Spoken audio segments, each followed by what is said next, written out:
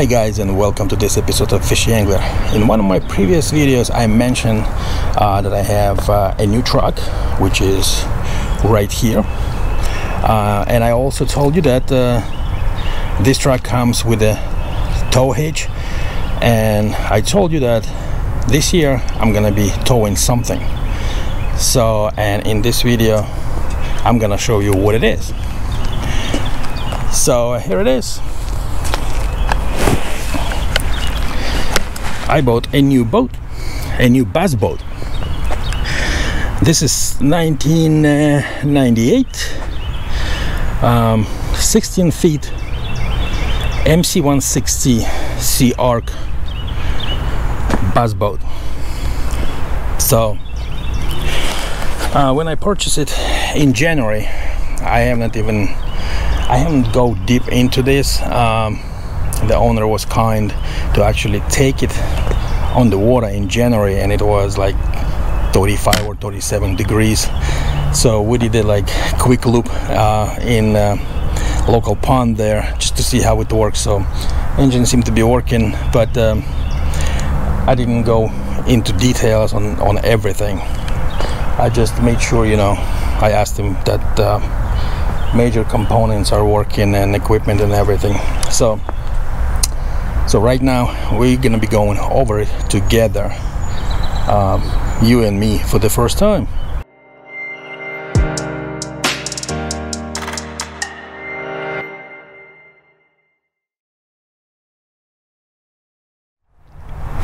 All right guys that's what we got here. So let's take a look. Uh, the boat came with that Minn Kota power drive version 1 so yeah. I've been looking online and uh, I probably will upgrade it to a version 2 and the iPilot. I'll install the uh, iPilot head so but for now that's what it is. Navigation light socket and navigation light is back there for the front. Um, let's see came with the pedal for trolling motor. And it's working. So that's good. All right. So it has four seats. Uh, seats already kind of weathered but uh, they will do for now so when we took it in the water um, the battery charge voltmeter was working there the RPM was working but the speed the speedometer didn't work. So and I know why. It just pickup tube in the back got broken off. So it also came with a Garmin 5 inch Echo Map. Uh, it's uh, it's in the house so it steers pretty good. It's easy to steer. So it's all lubricated and taken care of. So that's good. I'm gonna just probably put a little bit more uh, grease in here. I mean it's plenty but I'm probably gonna I'll put a little bit grease there on the rod. So and that would be good. And of course the control cable a nice and smooth there's no problem whatsoever. They operate easy. All right so there's a navigation light there. Also fire extinguisher. So and pretty much all this stuff is working. So let's see. Let's start from the bow here and look at the compartments. So this is the battery compartment. Uh, this is for the trolling motor and stuff. So there is space for another one there as well. So that's good. Also we have this compartment and this probably would be like tackle tackle boxes and stuff in here. Well there's a throwable um, cushion in there. But it all needs to be cleaned up inside. It looks like these compartments haven't seen uh, a soap for a long time. So but otherwise it's good. So moving back in here of course under the seats we have a couple of uh, safety jackets and there is a compartment there. We can use for something. All right. And uh, live well with aerator so owner said it, it's working. That's good. We're gonna check that out when we get on the water uh, there's one more compartment here. Yeah there's a mess needs to be cleaned up. We need to clean everything here. Oh well. We'll do that. So some rope cord.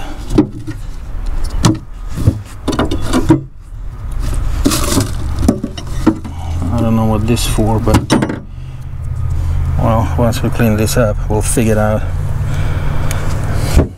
All right so inside here the sun the sump pump and uh, aerator pump is in there. Inside seem to be clean everything is good. And here we have gas tank and the starting battery. I need to take a look at this at the pickup tube there for for the fuel. It seemed to be leaking a bit. So maybe I would need to replace that yeah, it's a bit stinky in here and also need some nice cleaning here. All right. So the motor on it is 25 horsepower mercury. Um, this is 2003 Bigfoot. Huh. we have guests here. So yeah the owner and I went on the water uh, for a small for a small trip in January. So it seemed to be working fine. It starts right up and everything. Uh, the propellers propeller it, it, came with two propellers and they were pretty much beat up and have nicks and and even bends and stuff like that. So I sent those propellers for repair and they came back. So this is one of them. Brand new. Looks brand new. So all right. The power trim is working as well. Is uh, on a motor. And uh, it works here too all right. So that's a good thing. On this side we have some compartment as well also for some miscellaneous stuff. Yeah gotta clean up all this stuff. The plug for the transom. So that's pretty much it.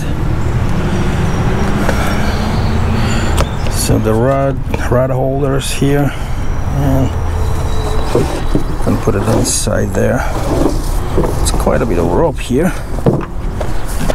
And the boat seemed to be in working order except as I mentioned uh, the speed speedometer pickup tube here. So as you can see the tube broke off from from the actual pickup tube but I, already have one so I'm gonna replace that and just will reconnect it and it should be fine so for hydraulics yeah it's it's nice and dry. There is no oil drippage or anything so that's a good thing.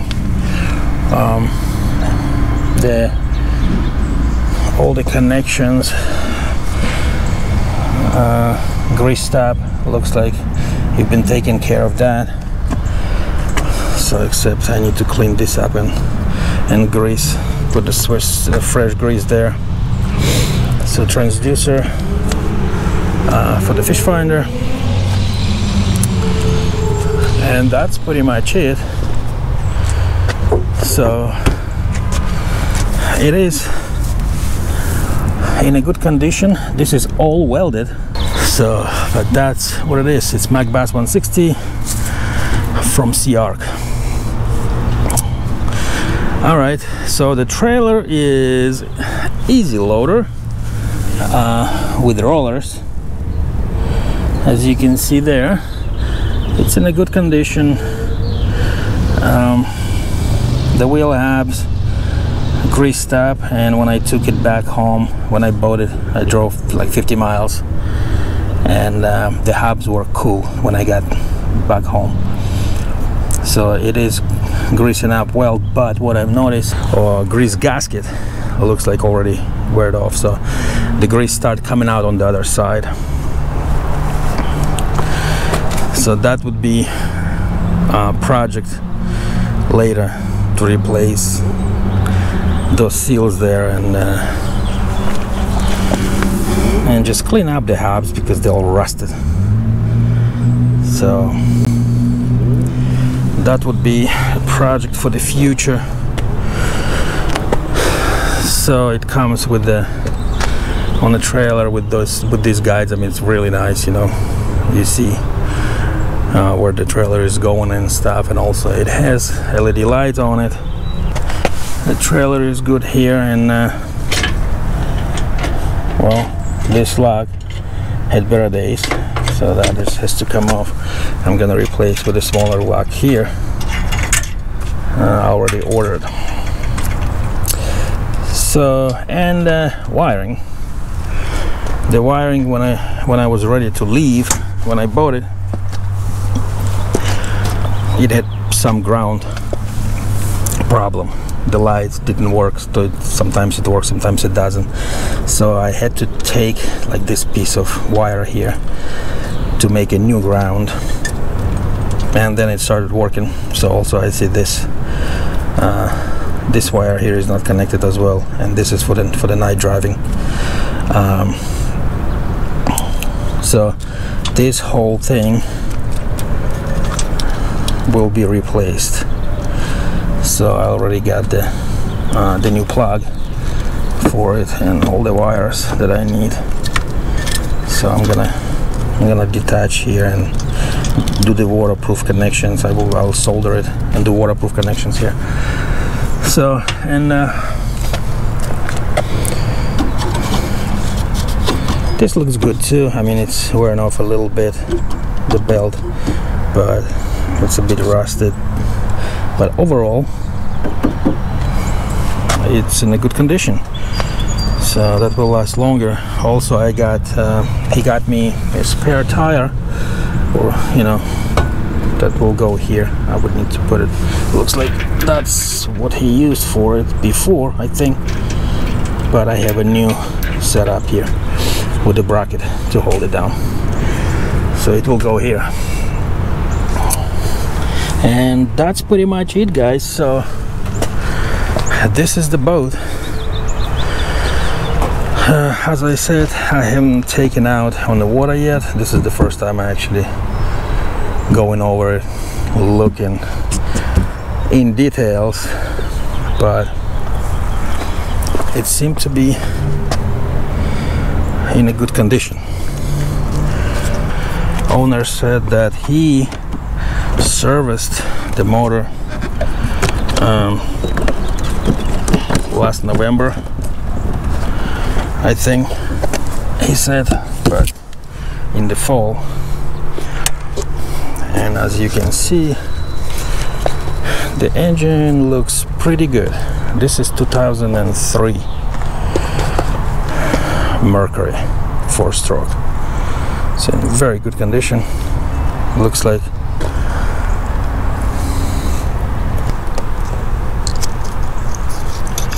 Now let's see how the oil looks like. Um, yeah, oil looks clear. So yeah, that's good. all right so that's good. I'm gonna be servicing it next fall when I'm gonna be winterizing it. So but everything else looks good. Everything seems to be working except that pickup tube for the for the speedometer which is easy to fix and I'll do it later. So yeah there it is.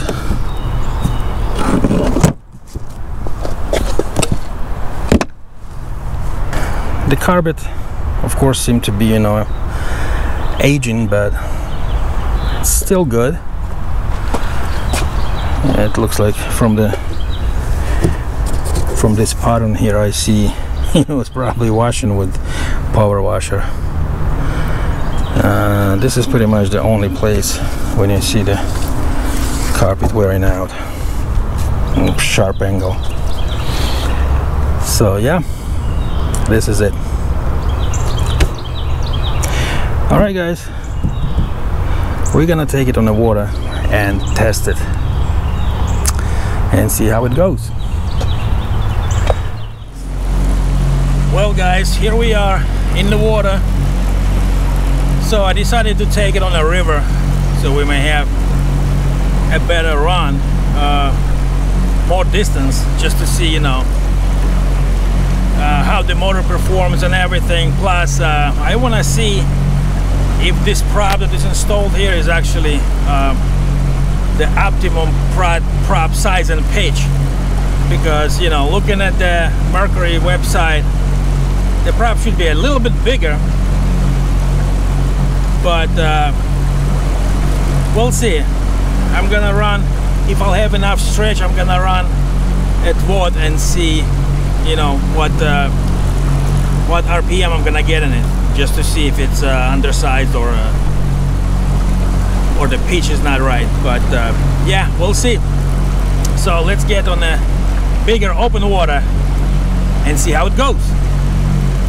But otherwise the motor start, started right up. Uh, no problems whatsoever. Seem to be running good.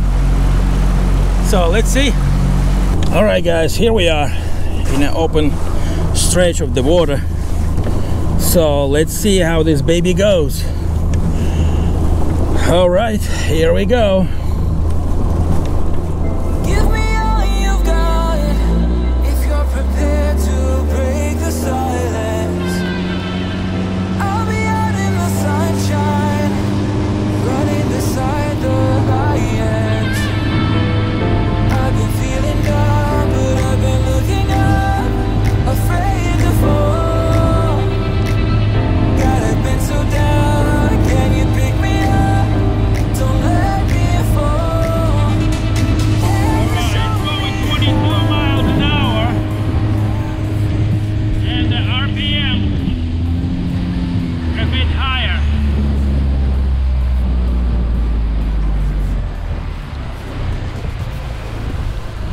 guys. So 22 miles an hour and uh, rpm a bit higher than it's supposed to be just just over six six thousand. So for this motor it's it, the the recommended is 575 so as i expected this prop a little bit too small for this setup so it's just easy. I mean it gets on the plane and everything but the RPM going a little bit higher. So all right. So that's good to know. Next time if I need to replace the prop I will go with a little bit bigger size. And that's what Mercury side actually was recommending for this for this motor. Let's see um, how fast it's gonna go if I'll do uh, 5700 RPM on it. All right, here we go.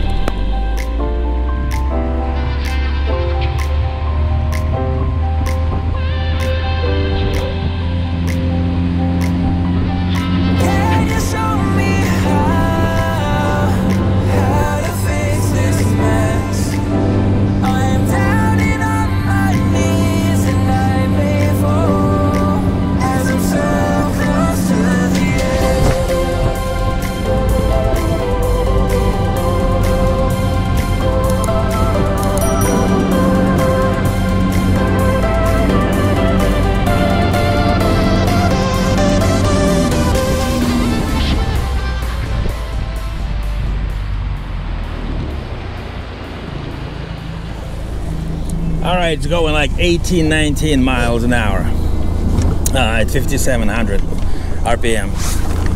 But it's okay. I mean, it will get me there, especially here in Delaware. There's no big lakes or anything.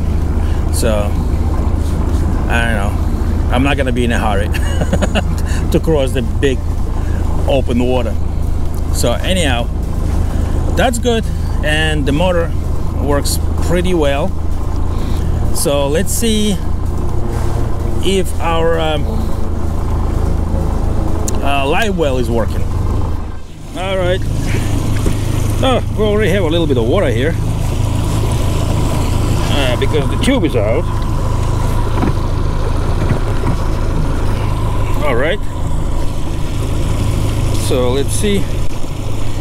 Now we'll turn the aerator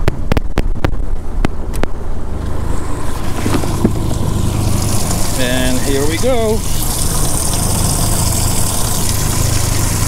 We got action.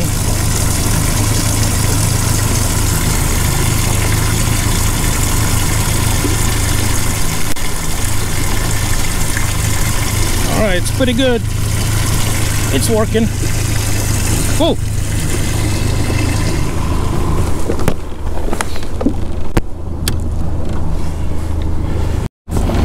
Well, also, I'm not gonna be testing the trolling motor because it actually stopped working.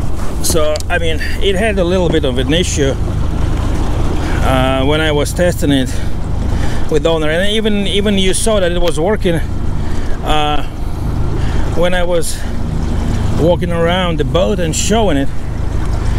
But once I unplug and plug the pedal back in this thing quit on me so I don't know it's probably some electronics in the pedal but uh, I was actually planning to upgrade this motor. This is the version 1 to version 2 and then install um, iPilot head.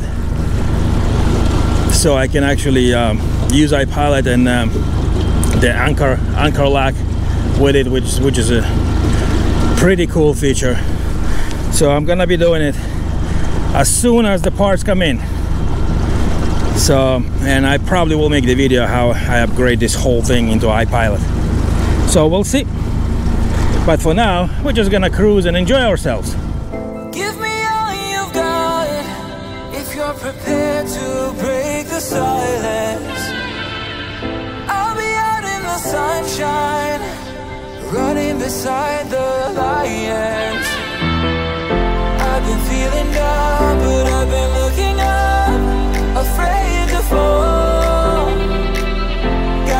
so down. Can you pick me